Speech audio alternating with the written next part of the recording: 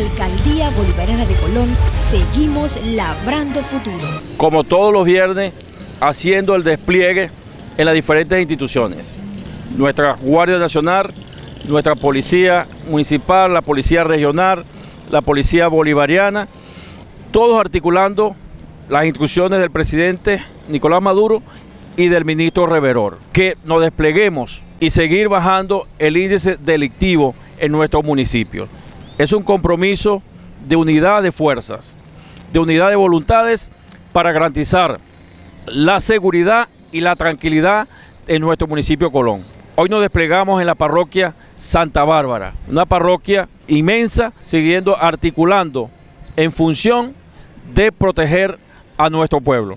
Así es que salgan adelante a defender la patria, a defender a cada uno de los ciudadanos. Ese es nuestro compromiso y hoy lo estamos cumpliendo. Alcaldía Bolivariana de Colón, seguimos labrando futuro.